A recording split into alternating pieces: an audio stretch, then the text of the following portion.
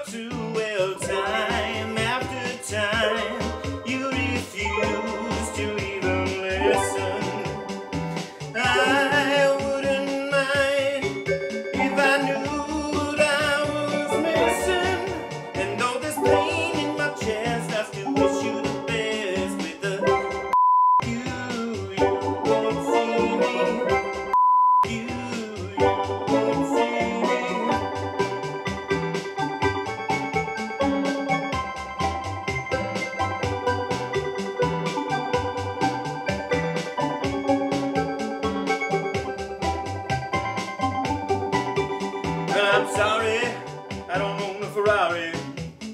That doesn't mean I can't get you there. Well, he's an Xbox, but I'm more Atari. And how you play your gaming fair. Well, time after time.